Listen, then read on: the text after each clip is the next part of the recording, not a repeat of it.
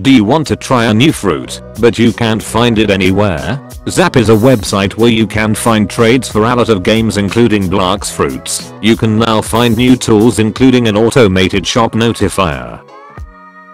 Link in the description.